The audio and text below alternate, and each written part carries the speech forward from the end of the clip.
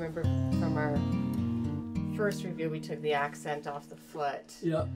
We own the entire process from beginning to end, from the idea to the design to making the finished final product that's ready for the market. It's all ours, it's all under one roof. We make one thing and we make that one thing better than anybody else. Everything centers around comfort, durability, and fit. And I consider Northfield the, the sock capital of the world. The sock capital needn't be based on volume, but absolutely based on quality. And we have one mission, and that, that mission is to produce the best category specific socks for the outdoor and the casual and the lifestyle market that anyone can buy.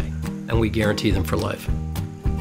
All of our socks, except for a handful of products within each category, are made with merino wool. It knits really well, it doesn't shrink, it takes color really well, it's durable. Merino wool is also uh, naturally wicking, it moves the moisture off your skin, it's naturally antimicrobial. We source globally, it's ethically treated, and that fine gauge yarn on a fine gauge needle forms a product that uh, form fits to your foot.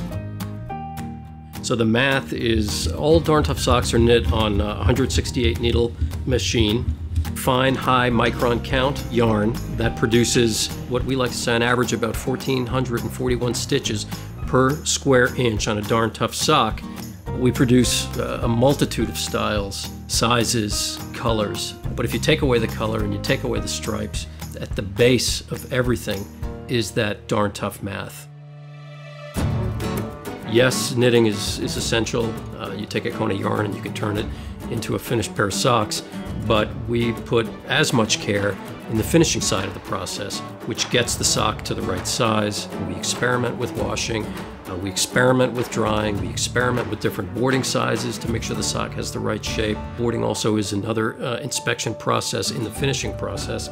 We hand inspect uh, every single sock at the machine, and then every single sock before it gets packaged is again hand inspected before it goes into a package, before it gets uh, shipped out to the consumer, and that's part of our quality pledge and our quality process.